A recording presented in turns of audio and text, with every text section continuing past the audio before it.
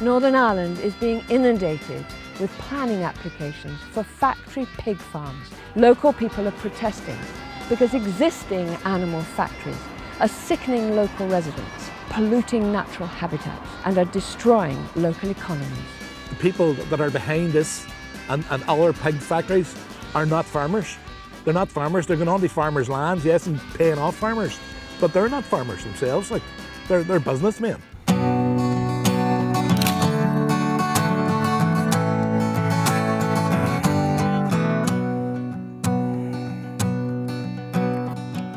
Heaven help us, what have they done?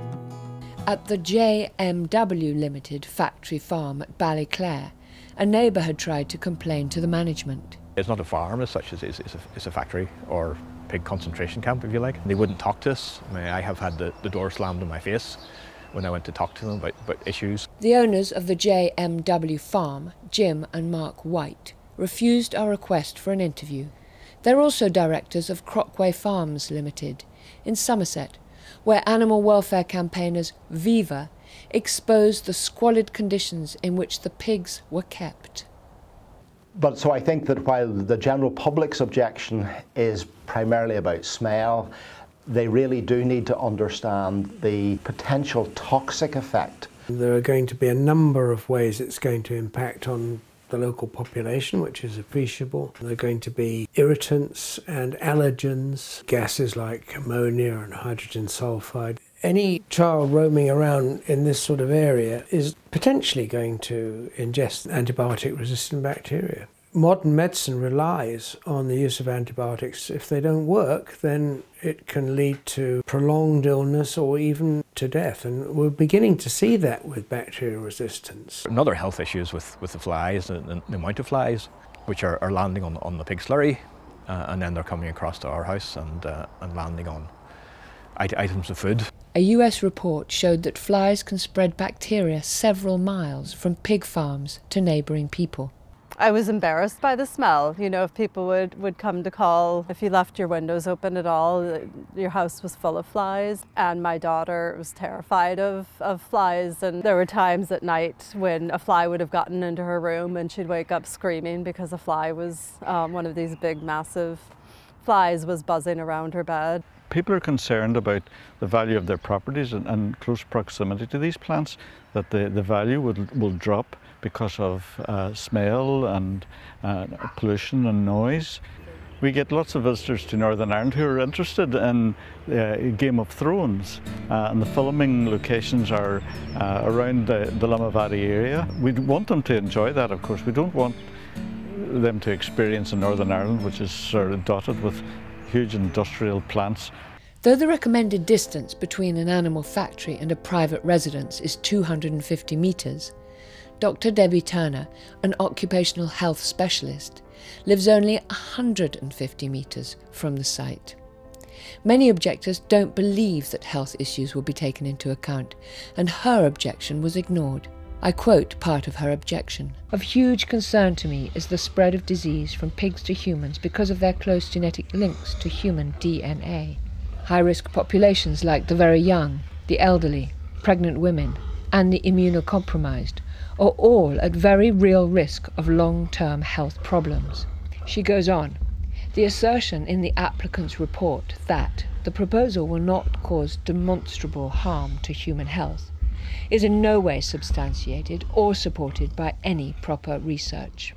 It's going to have an impact for me personally with uh, my son Logan, who's the youngest of my children. He has um, chronic lung condition and he also is on the autistic spectrum and has sensory processing disorder. On walking Logan to school, when he used to go to the primary school, he would have vomited on the way to school because the senses were just overloaded with the smell from the smaller pig farm, which is below this one. And considering how much more slurry is going to be needed to be spread out in fields surrounding my home, I would be concerned about that. In Denmark, the overuse of antibiotics in factory pig farms has led to a dangerous rise in human infections caused by the antibiotic resistant superbug, MRSA. We know that we have to reduce our antibiotic use. We have used too many antibiotics for many years. So yes, we should have done, done this uh, sooner and it would have been easier to contain, for instance, the MRSA problem if we had done so. So a few years ago we were presented, we weren't asked, we were presented with this strategy that would absolutely and fundamentally reshape the rural environment in Northern Ireland. It was called Going for Growth. From the very beginning, they compromised themselves by not complying with domestic and with European laws. And we're seeing the consequences now with a polluted countryside. The basic problem with effluent is uh, either silage effluent or slurry is the most basic thing it does is remove oxygen from the water. Fish can't survive if there's no oxygen. If these factories keep spreading and spreading, my grandchildren will never even know what a, what a salmon looked like. As we walk through this wet field, there should have been snipe, there should be lapwings buzzing, and curlews in the background. They were all here when I moved here 30 years ago. We had over a thousand pairs of curlews in Northern Ireland. Now we have about 40. So we pollute our waters. We let all the effluent from too many cows and too many pigs as if it doesn't matter about future generations. If we think of the conditions in which these animals are reared, the, the sterile conditions, the concrete slatted floors, the lack of bedding, and the stench of the gases that are coming up from the slurry pit underneath, that is what these pigs are condemned to for their short lives. The growth of otherwise unprofitable factory pig farms in Northern Ireland is being encouraged by massive financial incentives for anaerobic digesters, ADs, most of which use livestock slurry to make energy. Though the payment scheme is now closed for new ADs, most existing ADs will continue to use livestock slurry and continue to attract payments at a rate four times higher than anywhere else in the UK for 20 years. The scheme is financed by a levy on UK electricity bills, averaging at £200 per household per year. London city speculators, attracted by the huge subsidies for renewable energy from anaerobic digester plants, persuaded Raymond Pollock to sell his herd of organic dairy cows and join a scheme whereby he would provide his grass silage and run the AD plant.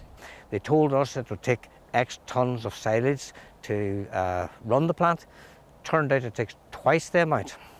This planning clearly states it was for a farm-based agricultural project.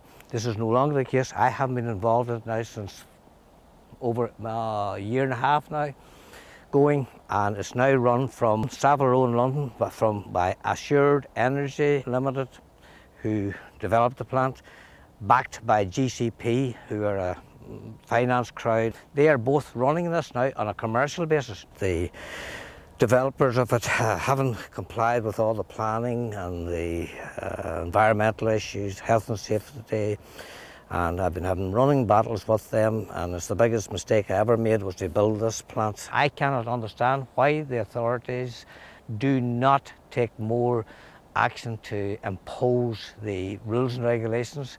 The, the problem is the planning was in my name. The authorities have threatened me with prosecution. No pigs factory here! No, no, not ever! Going for growth, Farms, not! Stop the Lemon Pig Factory right now! We're here today to protest against the largest pig planning application in the UK for a pig factory with 2,700 sows we don't want 66,000 tonnes of shit every year. And our fields can't take it, our rivers can't take it, and we're not going to take it. Here we go! So five local people will be employed, which is a joke. None of the money's staying in the community. You know, not even the meat is staying in the community, the meat's going somewhere else. Like People sometimes hear there's jobs coming, but they don't ask how many jobs are coming. And when we tell them there are three or four jobs and one, you know, some of those are pumping them full of antibiotics and some of them are dragging out dead piglets, then they get it that it's not a, it's not a, you know, good employment. So they're going to be spreading the slurry over 20 square miles and within that 20 square miles there are three rivers, all the tributaries, 17 protected sites and a huge number of people who are living in those areas. As a campaign group, we know there are people up in arms. We would like more people to be up in arms. And that would be, you know, that's part of the work that we're doing, is trying to spread the message.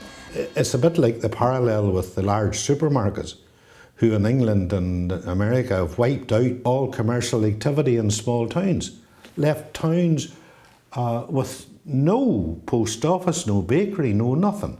Now you can apply the same parallel to this.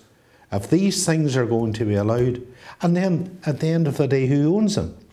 Probably investors in China or Hong Kong or New York or wherever it is, doesn't matter. So the people of the land of Ireland end up with not only living in filth and pollution, but also no ownership, no sense of community, no identity, no reason for protecting it anymore.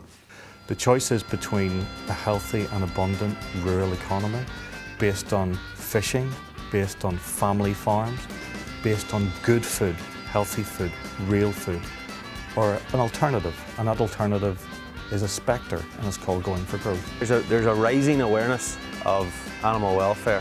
There is a, a, desire for people to know where their pork and their meat comes from. They want provenance, they want to know how it's made.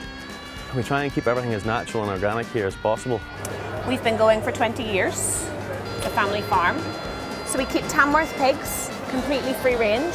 And the commercialisation of farming has created an industry that's meant that people think that chicken and pork and bacon and eggs are cheap. They're not cheap, they shouldn't be cheap. An animal died for that, and if, if it died, then you should pay a good price. People don't realise how hard it is to keep going in this world of supermarkets which are just pushing down the price of everything. The whole system just doesn't work. We have to get back to a system where everything's a lot smaller and people should eat way less meat and way better meat in my opinion. I'm a greedy little man, here I stand, ten feet taller than also. The law won't catch me because the law don't care, your government's bent. I put them there.